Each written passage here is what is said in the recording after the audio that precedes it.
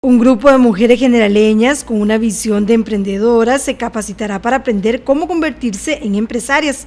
A partir de este martes 25 de octubre, las 25 mujeres comenzaron este proceso por medio del programa de empresariedad y autonomía de las mujeres, que tiene el taller de Velando el Género impartido por el Instituto Nacional de las Mujeres, el INAMU. Es un taller que abarca diferentes temáticas, ¿verdad? Eh, más que todo es qué es lo que realmente significa ser una empresaria, y cuáles son las, los factores determinantes para poder ser una empresaria. Tenemos mujeres con ideas de negocio, tenemos mujeres que también ya tienen sus proyectos consolidados. Hay una diversidad. El taller contempla siete sesiones continuas, donde las participantes aprenden sobre diversos temas. Sí, son siete sesiones eh, básicamente continuas. Vamos a estar dos días a la semana para poder abarcar todo el módulo durante este mes de noviembre. Una vez que se concluya el taller, ¿qué es lo que se pretende con esta mujer? Las vamos a incorporar en diferentes procesos con el que cuenta el INAMO.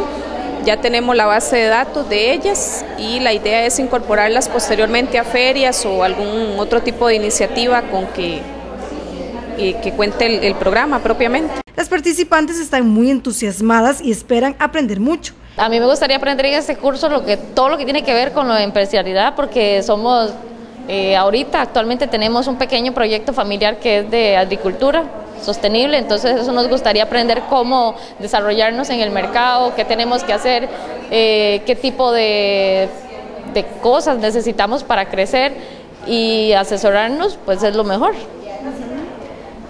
ese proyecto, ¿a usted le gustaría que emprender algo más grande todavía? Claro que sí, por ejemplo, estar en la Feria del Agricultor, eh, participar en ferias más grandes, también este, dar a conocer nuestro producto de manera más este, extensa, no solo quedarnos en regional, sino también poder participar en ferias más grandes, como por ejemplo ir a San José. Excelente, me parece que es una oportunidad eh, bastante grande para nosotras las mujeres, las que estamos comenzando con nuestra propia empresa, para salir adelante. Eh, tanto el INAMO como el IMAS este, nos están dando una mano ahorita eh, para poder surgir y salir de lo que es la condición de pobreza extrema. Somos una comunidad de mujeres emprendedoras bastante grandes y en este caso, en mi, caso particular, yo tengo el servicio de comidas a domicilio y estoy incursionando en servicio de catering service. El taller se espera que concluya el 29 de noviembre.